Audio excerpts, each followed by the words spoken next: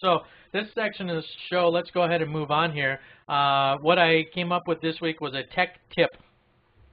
And uh, it's a very simple tech tip. Everyone uses a service like this. So the tech tip was as simple as how to shorten your URL.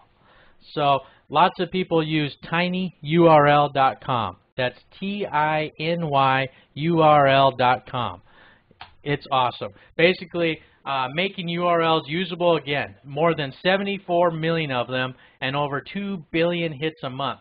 Are you sick of posting URLs and emails that and, and have it break uh, because uh, they can't cut and paste it back together? Uh, then you've come to the right place. Go to tinyurl.com and it's as simple as posting in your URL that you want to attach to and uh, hit generate and it'll generate you a custom tiny URL that's very small and very short. And I also have uh, links to uh, like six other resources that are a lot like uh, TinyURL, just alternatives to TinyURL that you guys might want to check out if for some reason you don't like tinyurl. But those those that I posted into the chat and also have these in show notes. Basically the same thing. They make make long URLs short so people can easily copy and paste them, transmit them through email, and or post them in forums or in some cases you know, uh, so a caveat to this, I want to tell everyone to be careful when you, you know, when you're looking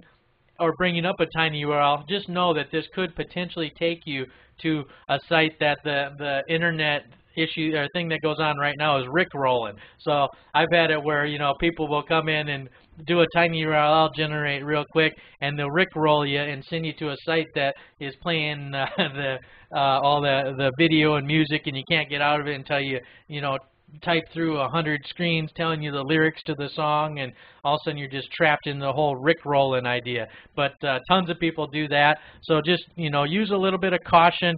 Uh, yeah, exactly. Like R.E. Sawyer says, use caution because these can disguise sites and potentially even send you to uh, to a place that has uh, that that potentially has malicious uh, content or malicious intent, you know. So use a little bit of caution. I also make sure that your firewall is turned on, make sure that your virus software is up to date, and you know, also make sure that your Adobe Flash Player is up to date, knowing that Adobe has uh, a handful of uh, vulnerabilities. So check it out if you haven't. How to shorten your URL, go to tinyurl.com. That's uh, one that I use quite a bit. I know I have my uh, my uh, bot set up with some of those tiny URLs. Hey, Alan, fantastic. I don't know why Shelby uh, kicked you out of chat, but uh, feel free to come back, and I'm sorry for that. Maybe she warned you a little bit ago about something, and she's being a little bit too aggressive. Shelby's my bot in chat.